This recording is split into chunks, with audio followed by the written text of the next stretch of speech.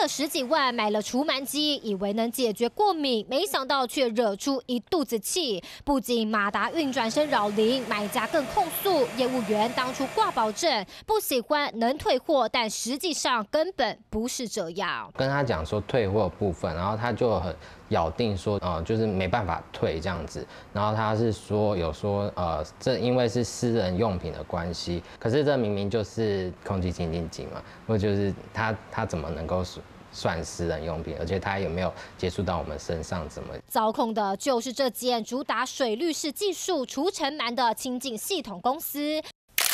事件在网络发酵，调出不少消费者留言，甚至成立自救会，怒控业者先说免费体验，进而用话术推销，售价八到十五万都有。目前被拒绝退货的买家至少有十人，金额达百万元。我隔一天我就跟他说，我不要买。一向他还有帮我代签，退货，但是你还是要付一笔这个三万八千多的顾问费。这是访问交易的话，更不应该讨论是不是个人卫生用品。